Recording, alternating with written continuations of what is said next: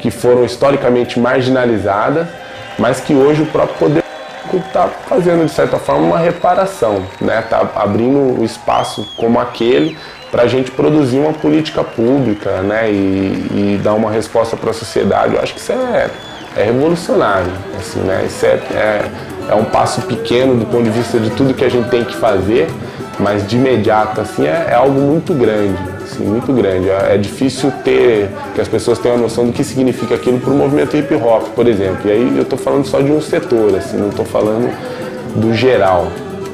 Então eu acho que foi importantíssimo. Acho que um, espaço como aquele está sendo ocupado pela Secretaria de Cultura, acho que é estratégico.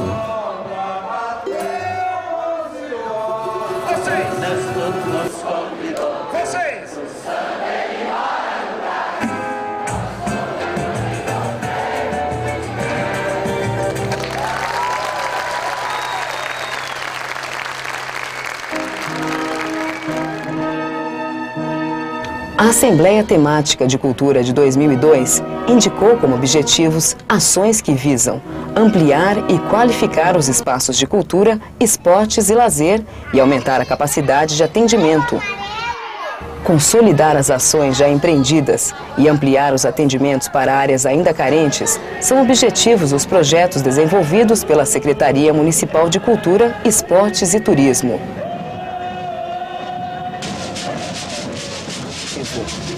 Investir em cultura, esportes e lazer é contribuir para a transformação política e social. É promover mudanças na maneira de enxergar o mundo e de se posicionar diante dele.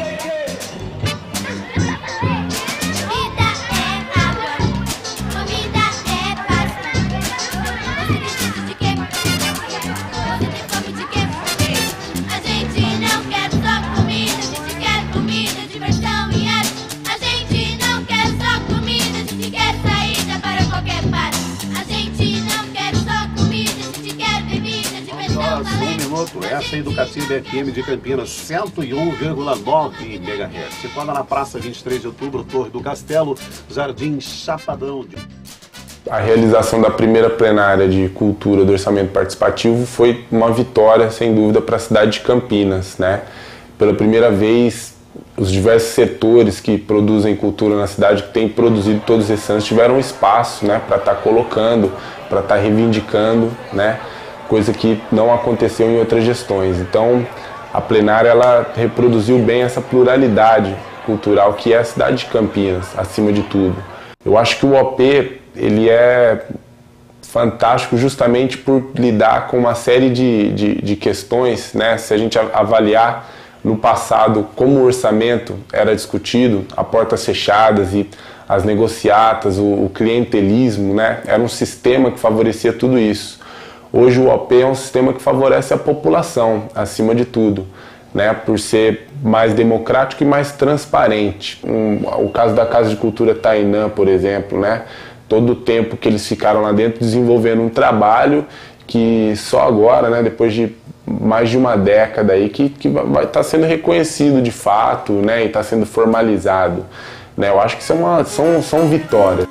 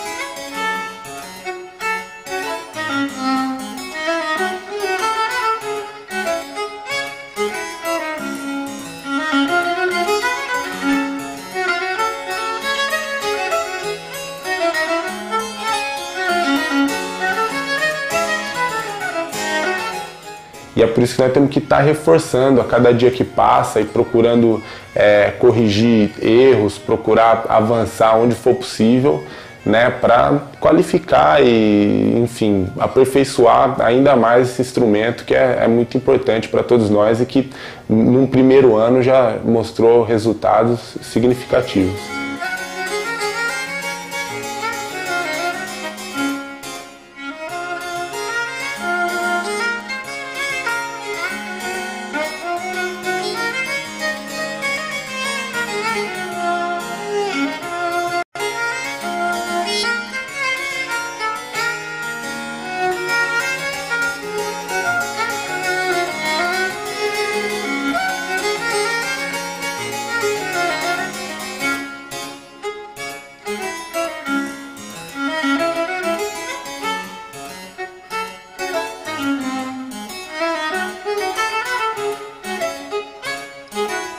Acho que é legal falar do censo.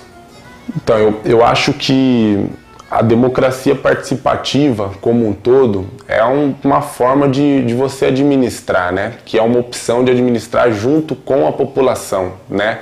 E não a portas fechadas dentro de um gabinete. Ouvir o que a sociedade pensa, abrir esse espaço para a sociedade e fazer isso de forma mais transparente, que é uma coisa inédita na cidade de Campinas. Pela primeira vez nós vamos ter acesso é, a um mapa né, do que, que é a cultura na cidade de Campinas, quem são os grupos ou as pessoas que produzem cultura.